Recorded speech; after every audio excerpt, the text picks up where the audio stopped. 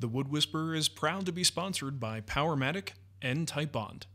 If you've been watching The Wood Whisperer for a while, you might recognize this project. This was the original drill charging station, which was really just uh, fancy wood and two shelves.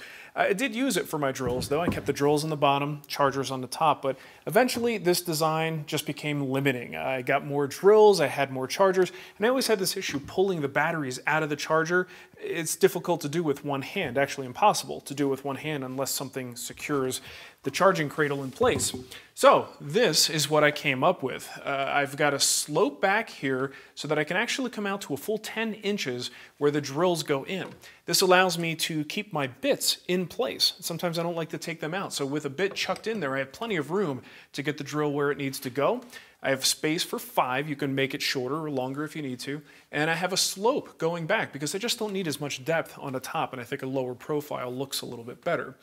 On the sides, that's where the chargers are. And I even have a little clip screwed into the top that prevents those chargers from moving upward. They can't move at all. So removing batteries is a piece of cake. All right, so the whole thing took me about three hours from design to applying the first coat of finish. So it's a pretty quick build. Let's get to it. I'm using 3 quarter inch Baltic birch for this project. It has 13 layers and is incredibly stable and strong. Best of all, the outer layer of veneer is actually reasonably thick, so it's forgiving for those of us who really like to sand. The parts are all cut to size, and then I set up for the dados. I use a piece of scrap to get a snug fit. After sanding the shelves, they should fit perfectly. Now I can cut the dados into sides, moving the fence as needed for each new position. The actual location of the dados isn't critical, but what is critical is that we put them in the same place on both side pieces. Make sure you keep good consistent downward pressure since the dado stack likes to lift the workpiece as it cuts. Now for the drill slots on the bottom shelf. My measurements are based on Milwaukee drills, so you might just want to test this layout if you have a different brand. I found a 2 inch spacing works well with 2 inches between the drills. Keep in mind that a quarter inch on each end goes into a dado, so start your layout a quarter inch in from the ends. The bandsaw works pretty well for these stopped cuts.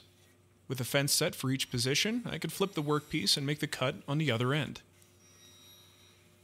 By the way, if you don't have a bandsaw, a jigsaw will work just fine. Just be sure to use a fine-tooth blade with lots of teeth to avoid excessive tear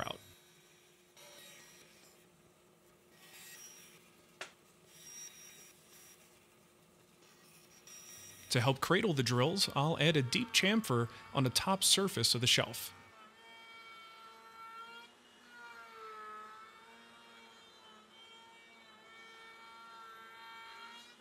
I found that the drills sit more comfortably if there's a rounded profile where the chuck rests, so I'll sand in a little round area using the spindle sander.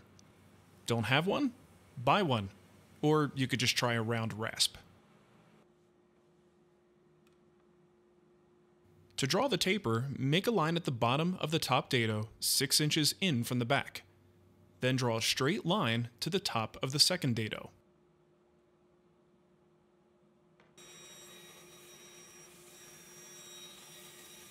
After cutting both pieces at the bandsaw, I'll gang them together to make the profile consistent on both pieces. And now, I'll make thousands of hand tool woodworkers cringe by using my jack plane on plywood. Feel the burn! To cut the bevels on the top two shelves, I'll drop them into dados, flush with the back, and then draw a pencil line at the front edge. I'll bevel the saw blade by eye and then make a quick test cut just outside of my line, this allows me to make a quick adjustment and then move the fence to the final position. I actually neglected to record this cut, but it's just as well because I don't have a zero clearance insert for this odd bevel angle, so it's probably for the best that no one sees it. Now we can glue this thing up. All we need is some grade A top choice Titebond glue and some clamps.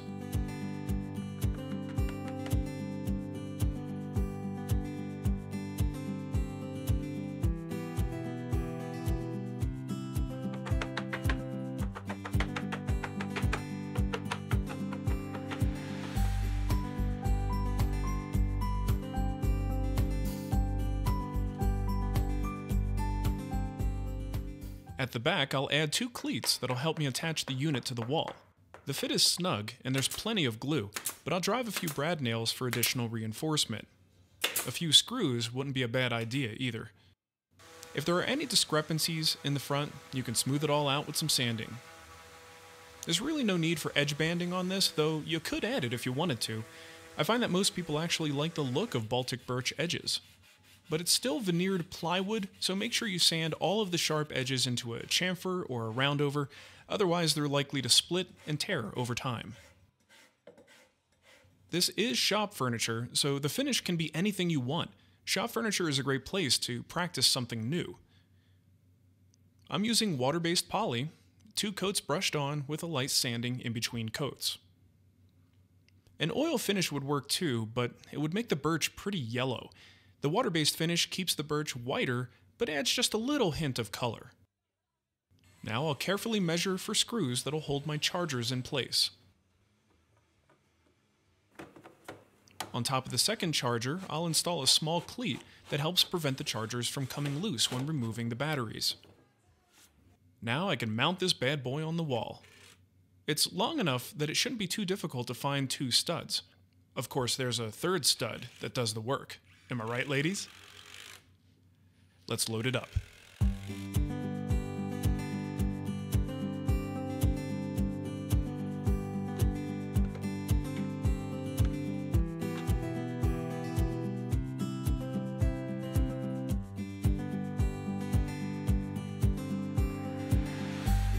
So the only thing left to do is a little bit of wire management, and I'll probably bundle the wires together, put a surge protector under here, and then just have everything kind of self-contained. You won't even be able to see the wires, and I'll have an easy way to turn it on and off if I want to cut power to these guys at some point. Uh, so this is one of my favorite types of projects, a very small time investment, but the organization you get out of it just makes life in the shop a whole lot easier. So hopefully you'll have time to build one yourself. Thanks a lot. Take care.